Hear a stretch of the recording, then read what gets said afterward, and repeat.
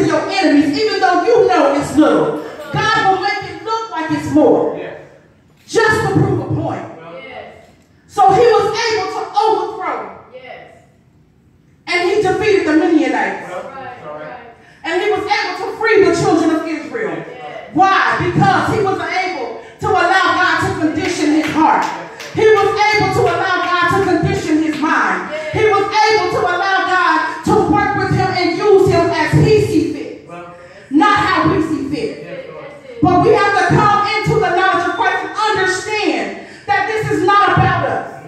It's not about what we want. It's not about how we want things done. But it's about how God wants it done. And we have to be willing to condition our mind, condition our body, condition our heart, condition our soul. We can't just step in to an assignment blinded. That's not how God designed this thing to be.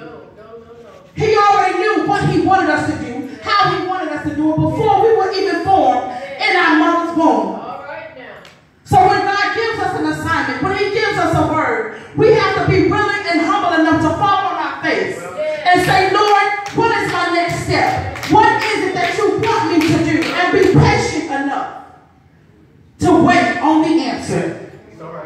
Because we'll jump out soon as we pray. Don't wait on nothing. Swear heard the voice of God and ain't heard nothing but a breath. Won't wait. But then call on him when we get out there and get in some mess that we can't get ourselves out of when all we had to do was wait. Why is it so hard for us to just wait? Why is it so hard for us to tell God that we need help? Why is it so hard for us to follow the instructions that God gave us? Because He left us some very good instructions for everything that we can go through in this life. It's called the Bible. He left us some pretty good instructions. We get lost because a lot of us don't like to read. So we don't read it. We rely on what we hear on TV, on the radio. We'll read a meme Facebook before we read the Bible. But the meme could be inaccurate because people will misquote real quick. Yes, they will. Amen. That's all right. Thank you, Lord. So how do we how do we allow ourselves to get to the point where we can't focus on what God has told us to do, or we are not allowing ourselves to be humble enough to come to God and say, I surrender myself completely. Because it's more to this thing than just getting saved, sanctified, and Holy Ghost filled. Because you can be saved, sanctified, and filled with the Holy Ghost real good. Speaking in tongues all the time. But if you never open up your Bible, if you never talk to the Lord, if you never spend time with Him, how are you going to properly execute the assignments that He places before you? How are you going to properly execute what you're supposed to be doing in the kingdom of God? It's time out for play church. It's time out for messiness in the pulpit. It's time out.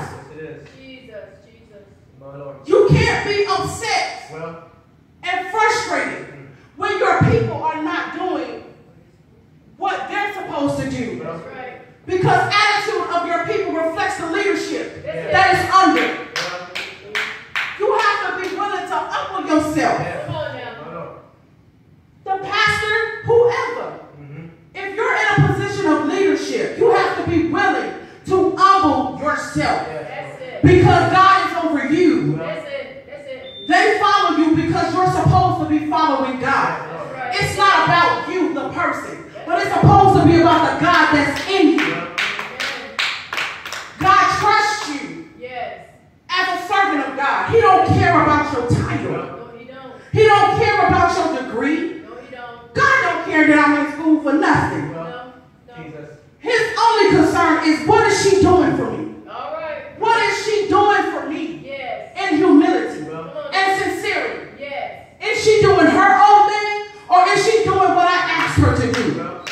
Is she doing what I commanded her to do or is she